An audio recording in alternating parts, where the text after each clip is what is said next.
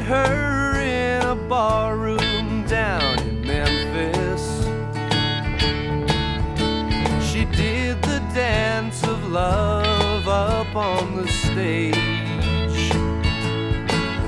But I was much too